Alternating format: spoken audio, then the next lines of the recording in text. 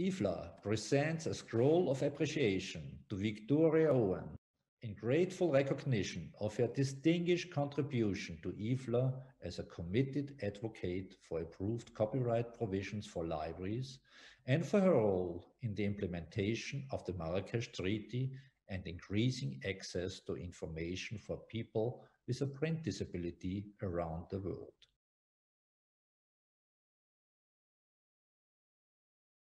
Now let's hear from Victoria, please. Hello, my name is Victoria Owen, and I'm a librarian at the University of Toronto in the role of Information Policy Scholar Practitioner.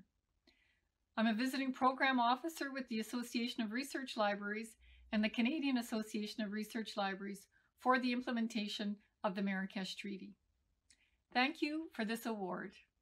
I'm very pleased that our work on accessibility is being recognized, and I invite you, my colleagues worldwide, to join me in using the policy tools at our disposal, the national laws and the IFLA Getting Started Guide to advance access. Please adapt the guide to your national laws and distribute it to librarians on the front lines. Our role as librarians is essential to the success of the Marrakesh Treaty, and we hold the key for access for people with print disabilities. Thank you very much for this recognition, and I look forward to working with you to implement this level of access worldwide.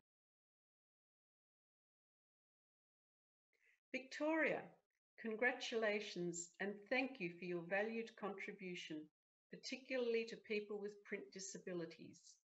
What you do makes a real difference to the lives of people around the world.